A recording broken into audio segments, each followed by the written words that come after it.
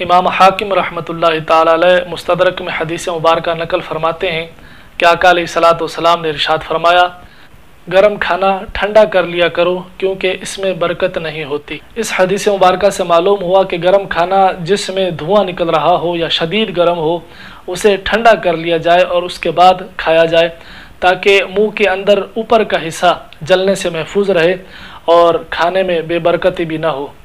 آپ نے شاید خود بھی یہ تجربہ کیا ہو کہ جب گرم بریانی پلیٹ میں آتی ہے تو فوراً پلیٹ صاف ہو جاتی ہے۔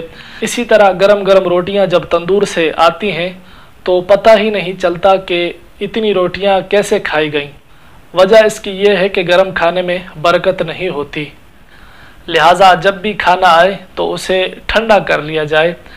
میں یہ بھی نہیں کہتا کہ بالکل ہی ٹھنڈا کر لیا جائے، لیکن اتنا گرم ہو کہ وہ آسانی سے کھایا جا سکے۔